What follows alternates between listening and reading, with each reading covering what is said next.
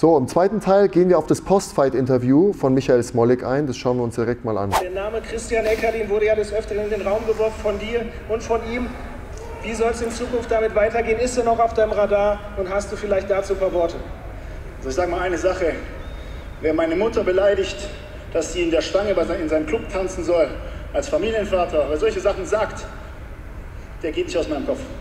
Also wenn er den Kampf will nächstes Jahr, werde ich den Kampf äh, bestreiten, gegen ihn fighten. Wenn nicht, dann nicht. Ich habe keinen Bock, ewig über Eckelin zu sprechen. Ich habe meinen Weg, ich habe andere Gegner, ich habe Top-Gegner.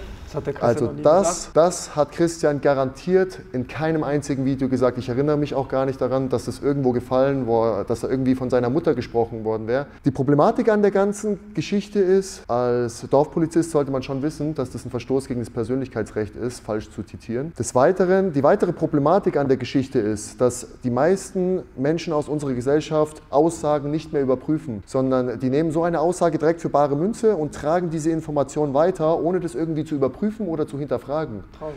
Das heißt, jemand sieht das Video und sagt, boah, der Christian Eckerlin hat schlecht über die Mutter von Michael Smolik geredet, öffentlich, ist ein schlechtes Beispiel. Wir haben alle eine Vorbildfunktion als äh, professionelle Sportler von ähm, jungen Leuten, von anderen Kampfsportlern und, und, und. Das heißt, man sollte ich will auf jeden Fall, also falls du darauf reagierst, Michael Smolik, hätte ich gerne den Videobeweis, wo du das gesehen hast. Kann natürlich auch sein, dass vielleicht ein bisschen Sauerstoffmangel nach drei Runden im Kopf geherrscht hat und du die Erinnerung nicht mehr archiviert hattest. Aber das will ich auf jeden Fall sehen, wo er das gesagt haben soll. Diese Formulierung ist garantiert nirgendwo gefallen. Das ist absolut nicht unser Stil und ähm, ja, ist einfach ein schlechtes Beispiel. Was denkst du, könnte da das Motiv sein? Ist es wirklich einfach Leichtsinn oder ist es vielleicht sogar eine Maßnahme, ja, krampfhaft irgendwie medialen bisschen Wind zu erzeugen, um die ja, eigenen eingebrochenen Klickzahlen wieder nach oben zu treiben. Also ich weiß es natürlich nicht, was die Intention war in dem Moment, aber wenn jemand so etwas gesagt hat, dann überprüfst du das und schaust dir das ja öfter an. Das brennt sich ja in das Gedächtnis ein. Ich glaube definitiv, dass er weiß in diesem Moment, dass das nicht gesagt worden ist und dass diese Information gezielt verändert worden ist. Ist natürlich eine Mutmaßung am Ende des Tages,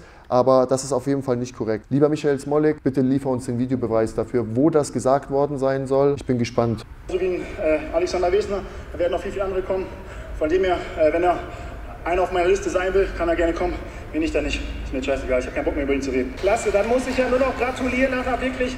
Hinzu kommt, Christian hat ja diese ganze Fehde gar nicht angefangen. Also die Herausforderung kam ja von Michael Smolik. Das heißt, äh, jetzt hat er keine Lust mehr zu reden und interessiert sich nicht mehr dafür. Ähm, ja, lassen wir es einfach so stehen. Ich bin gespannt auf den Videobeweis, wo Christian das gesagt haben soll. Oder irgendjemand, oh, oder ich sage sogar, niemand von uns hat es irgendwo in, jemals in einem Video gesagt, denn das ist nicht unser Stil. Trash Talk gehört dazu, um Kämpfe zu promoten, um mögliche Matchups aufzubauen, aber das muss natürlich immer alles oberhalb der Gürtellinie bleiben. Also, Fazit zu der ganzen Geschichte. Auf jeden Fall eine tolle sportliche Leistung. Er hat sich sportlich weiterentwickelt. Er konnte ja auch bei den letzten zwei Gegnern wirklich nicht zeigen, was in ihm steckt, da es keine wirklichen Gegner waren. Alex Wesner war ein vernünftiger Gegner mit einem breiten Skillset, gutes Ringen, gute Hände, eine Menge Erfahrung auf jeden Fall. Zum Schluss in dem Post-Fight-Interview, was er dort behauptet hat, gefällt mir überhaupt nicht. Ist charakterlich ähm, ja auf jeden Fall ungenügend, irgendwelche falschen Zitate aufzustellen. Solltest du auf jeden Fall ändern, lieber Michael Smolik. Ähm, alleine den Jugendlichen und den Leuten gegenüber, denen, die dir folgen und die sich an dir orientieren und dich als Vorbild nehmen. Das war's mit dem Reaction-Video. Vielen lieben Dank fürs Einschalten. Wir sehen uns.